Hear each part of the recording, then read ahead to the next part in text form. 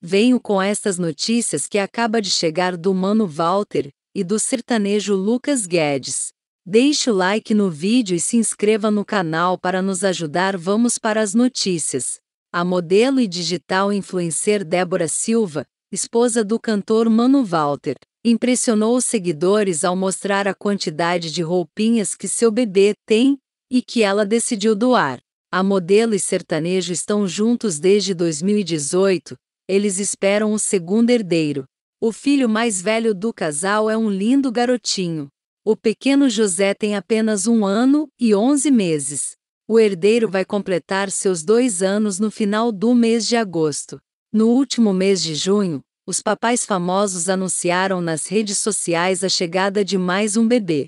Ao realizarem um lindo e luxuoso chá de revelação, eles descobriram que esperam por uma menininha. A pequena já tem nome e se chamará Maria Clara. Bem ativa nas redes sociais, a esposa modelo e influenciadora sempre abre uma caixinha de perguntas para bate um papo com seus seguidores. Entre uma pergunta e outra, a modelo responde algumas dúvidas sobre o seu dia a dia, gestação de seu segundo filho e projetos profissionais. Um internauta, inclusive, perguntou para a esposa de Mano Walter sobre o enxoval de sua bebê. O fã questionou se ela já tinha decidido onde iria comprar as roupinhas de Maria Clara. A influenciadora explicou que já tem uma empresa especializada assessorando-a na escolha do enxoval da pequena.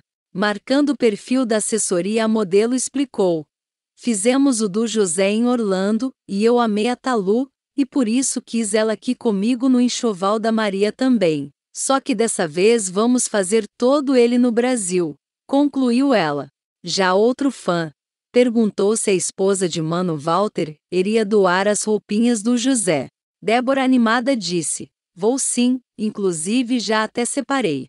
Na sequência, a modelo mostrou uma foto com várias pilhas de roupinhas, incluindo muitas peças de enxoval do garotinho separadas para adoção. Muito bom a atitude dela. O que vocês acharam? Deixe nos comentários sua opinião.